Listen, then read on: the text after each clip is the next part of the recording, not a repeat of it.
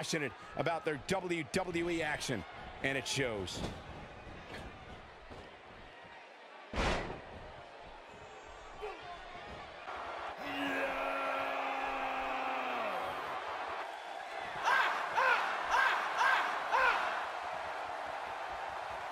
Real treat tonight. This match promises to be amazing.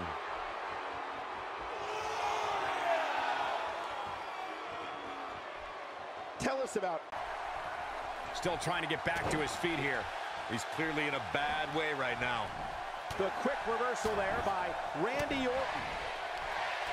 Oh, and he dodges out of the way.